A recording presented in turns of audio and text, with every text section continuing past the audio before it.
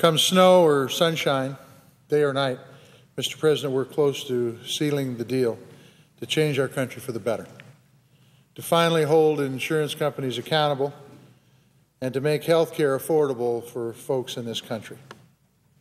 Right now, we are all paying uh, far too much for our health insurance. Many of us can't get the health insurance at all. And even worse, insurance companies don't always live up to their end of the bargain. Sure, a lot of folks are happy with the health care they have. Our doctors and our nurses, and hospitals and med- medical research are some of the best in the world. But when you add it all up, many are paying too much for it, some are paying nothing for it, and overall, too many lives are lost. Too much money is wasted, and too many folks are falling through the cracks. They're calling out for help. We've all heard their voices. Now I want you to hear their stories. They're ordinary folks who stand to lose everything unless we reform our health care system. I support this health care reform bill because it saves lives and it saves money. It saves Medicare. It's tough on insurance companies, taking them to a task to ensure affordable and fair coverage. Mr. President, I have a perspective somewhat different than most of my friends here in the Senate. I am and always will be a third generation Montana farmer. Uh, my wife, Charla, and myself still operate our farm. A farmer knows uh, that we have some good years and we have some bad years. I've had my share of bad years, and in fact, uh, many years ago, not long after our first child was born, Charla and I had to give up health insurance to make ends meet. We had no other choice but to hope and pray for our health and safety and for the health and safety of our child. Thank God our prayers were answered.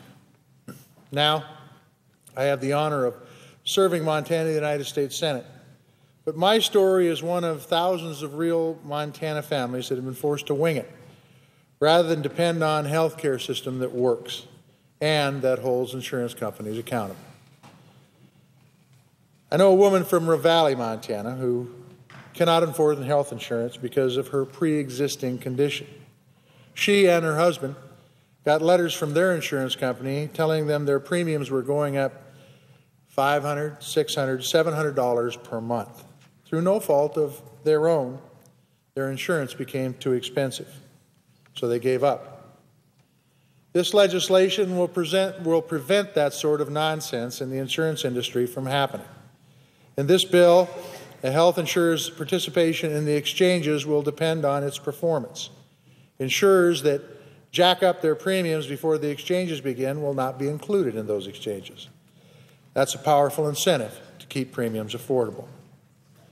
Mr. President, we all have friends and relatives who aren't fortunate enough to have a job where health insurance is part of the deal.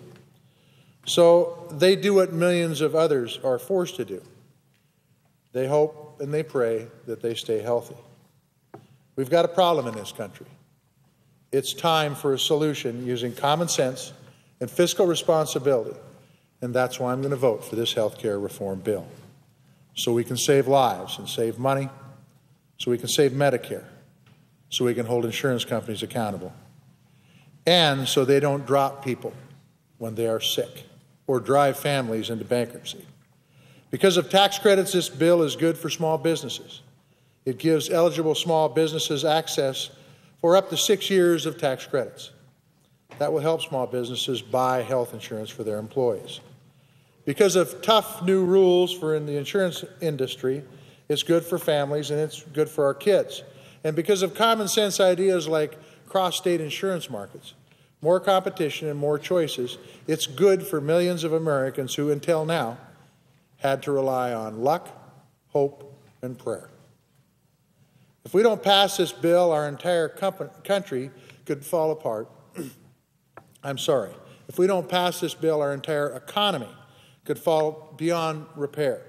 Mr. President, right now we're working hard to rebuild our economy, and it's working. We're creating jobs and investing in basic infrastructure needed to get our economy back out of the ditch. Fixing our broken healthcare system is part of that job. Over the fast, past few years, I've heard from thousands of Montanans telling me about the need to fix healthcare. One of them is a lady named Roxy Burley. Roxy owns a hair salon in Billings, Montana. She just bought a home. As all small business owners, she works hard, but she can't afford health insurance. So she says she's walking a tightrope. Her home and business on one side, and her health care is on the other side. If Roxy gets sick, she worries she'll lose her home and her business. In Montana, our economy relies on people like Roxy Burley, small business folks. We can't afford to have our economy walking a tightrope. In this bill, Roxy will be protected from losing her home and business. Her annual out of pocket expenses are capped at no more than $5,950 per year. Mr. President, I want to sh- uh, share another story. It's about Mindy Renfro. She lives in Missoula, Montana. Mindy got breast cancer not once, not twice, not three times, but four times. And these were four different types of breast cancer. Mr. President, the, the same cancer didn't come back every time. She got a different cancer each time. The first two times, uh, Mindy's insurance paid for her treatment. The third time, the insurance company called her and said, We're sorry, but we're not going to pay. The underwriter, she says, determined her chances of survival were just too slim. So instead, they offered to send a hospice nurse.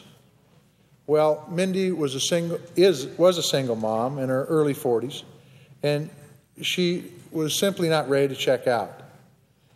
So she asked about her options. She was told if she wanted to uh, start chemo, she would have to come up with more than $100,000 in cash. Her only option was to sell her home. So Mindy and her children sold their home. They packed up and moved out of their home so they could sell it and so she could start treatment that she needed to stay alive. After many years of trying to repay that debt, Mindy recently declared bankruptcy. I've heard many stories from folks in Montana that are in the same boat that Mindy is in. Uh, this isn't good business. This needs to stop and it's why I support this health care reform bill. I support it because under this bill, Mindy and people like her wouldn't have had to declare bankruptcy. She would have had the insurance, despite her pre existing condition of being a cancer survivor, and her annual out of pocket expenses would have been capped at no more than $5,950 per year, not the $100,000 in cash that she needed just to start her cancer treatments. This bill is strong and decisive, and it's tough on insurance companies, so they cannot say sorry, but no when you get sick. So they cannot say sorry, but no if you have a pre existing condition. Another story, Mr. President, is about former ranchers Dan and Pat DeJean. Now, this is, picture here is a picture of Pat. Uh, Dan and Pat used to own a cattle ranch in northwestern Montana. They used to own a cattle ranch in northwestern Montana. The ranch had been in their family for four generations. Dan and Pat couldn't afford health insurance. And then Dan was diagnosed with cancer. To pay the bills, they had to make the painful decision to sell off their ranch. Now, I'm going to tell you when a piece of land has been in the family for four generations, you get an attachment to that piece of land. But nonetheless, Dan got cancer, they had to pay the bills, they sold the family ranch. Under this bill, the DeJeans would have had access to subsidies so that they could afford health insurance in the first place. They never would have had to sell the ranch to pay the doctor's bills. I want to read you what Pat wrote to me about that experience. She said, quote, The cancer ravaged Dan's body, but selling our ranch to pay for the medical costs broke his spirit. Dan DeJean lost his battle with cancer two years ago. All his bills were paid, but the ranch that had been in the family for four generations were gone, as well as Dan. After that, Pat still cannot afford health insurance today. Under this health care reform bill, uh, getting sick won't force folks like Dan and Pat DeJean to sell their land that's been in their family for generations. That's because it limits the amount of money you would have to pay out of pocket at a rate you can afford based on how much you earn. And that means no Americans would have to sell their homes or their family ranches to pay the medical bills. I know a lot of folks already have health insurance and they're wondering how is this going to affect me? Well, let me be clear. If you like your plan, you get to keep it. If you don't, you can look for a more affordable plan that works best for you and your family. Everyone will have access to affordable health, affordable health insurance. Right now, those with health insurance are subsidizing those without it. The other day, I struck up a conversation with a trucker back in Montana who told me, I don't need insurance. I don't want insurance because I don't get sick. I asked, What happens if you get into an accident? Being a trucker, that's always a possibility. He said, All I have to do is go to the emergency room where they take care of me. No questions asked. That's exactly the problem, Mr. President. Uh, when everybody is insured, costs will go down because no one will be paying extra to cover the folks who rely on the emergency room for health care that they eventually never pay for. Just common sense. Saves lives and it saves money. Mr. President, I've been on the phone with tens of thousands of Montanans over the past few weeks answering questions about health care. A lot of them want to know how we're going to pay for this bill. How much will it increase their debt?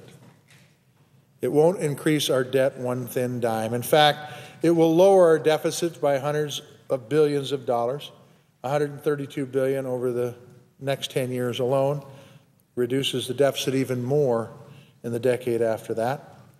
The fact is this bill saves money is pretty important to me.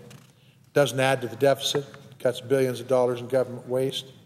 It requires a bigger chunk, chunk of your premiums to go directly to better health care instead of administrative costs and profits. And it saves money for families by lowering costs for everyone and by limiting the amount of money you have to pay out of pocket for health care and by emphasizing wellness and prevention, the low hanging fruit of health care reform, and by holding insurance companies accountable so we don't pay more than our fair share for the health care that we need.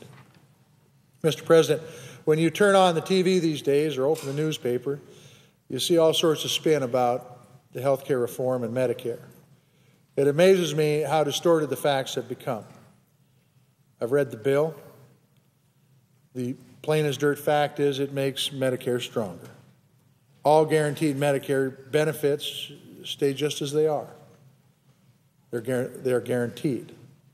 Seniors are guaranteed to keep the benefits like hospital stays, access to doctors, home health care, nursing homes, and prescription drugs. How do we make Medicare stronger? We make it stronger by getting rid of wasteful spending, by making prescription drugs for seniors more affordable, and by spending your money smarter. Without this bill, Medicare will be on the rocks within a matter of months. If we don't fix it now, uh, it will go broke, leaving entire generations in the lurch. Millions of Americans have worked hard all their lives for Medicare benefits. They've earned it. That's why we're making Medicare better, not worse. That's common sense. The same goes for VA health care. This bill does not affect VA health care or TRICARE. I serve on the VA committee. Over the past three years, we've made good progress in living up to the promises made to our veterans. We still have a lot of work to do, but this health care reform legislation takes us forward even further for America's veterans. Finally, this bill preserves some of the most important parts of quality health care the relationship between you and your doctor, and the freedom of choice you have as a patient. In Montana, as in many parts of this country, we don't tolerate the government snooping around our private lives or making personal decisions for us. Healthcare is no exception. This health care reform bill not only saves lives, it saves money, it saves Medicare, it keeps the government out of the exa- exam room and the waiting room. Mr. President, I go home to Montana just about every weekend to visit with the folks and hear what's on their minds. I meet with doctors and nurses, hospital administration, administrators, and regular folks from all over the state to hear their concerns. Everywhere I go, health care is the number one issue, and it's clear that the worst option is to do nothing at all. If that happens, insurance companies won't be held accountable. Healthcare costs will continue to break families as costs go up, and people who need treatment to stay alive won't get it. I know a fellow farmer who worked some land back in Montana. When he get, got sick, he had to sell off entire chunks of his family farm to pay the bills, piece by piece. And piece by piece, we watched as he made pain, painful sacrifices for his health care. Piece by piece, his livelihood was broken apart. No American deserves that. People are calling out for help because a lot of the folks are falling through the cracks. I say to them, we're listening. We hear you and we're doing something about it. That's why this is a good bill. It's a bill that I support. It will allow Americans to get the health insurance they have needed, and the insurance will be affordable. It is a result of a lot of hard work and working together to do what's right for this country, for America's rural families, seniors, veterans, small businesses, family farms, and ranches. People of this country deserve no less.